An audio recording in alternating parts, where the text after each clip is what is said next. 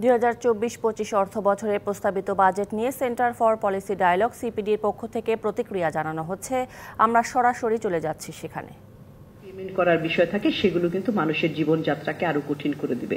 একটা বিষয় যে এমিউজমেন্ট পার্কের ব্যাপারে আমরা বলতে চাই যে, দেখেন বাংলাদেশে তো জায়গা এত ছোট, মানুষের কিন্তু কোথাও যাওয়ার জায়গা নেই খুব একটা।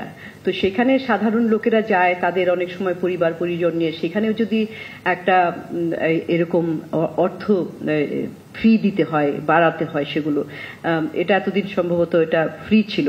তো সেটা কিন্তু আসলে এইটা এই সময় না, সব প্রত্যেকটারই সময় আছে। হ্যাঁ উন্নত দেশে কিন্তু হয় সেটা।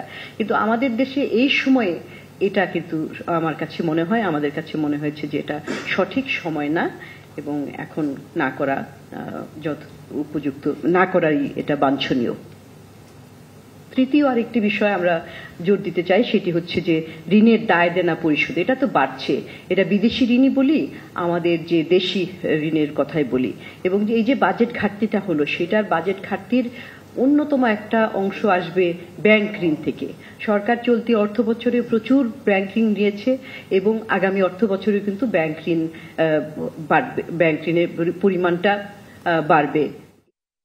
নগদে পাঁচশো টাকা বা তার বেশি পেমেন্টে পেতে পারেন ঢাকায় জমিসহ বিশ কোটি টাকার পুরস্কার।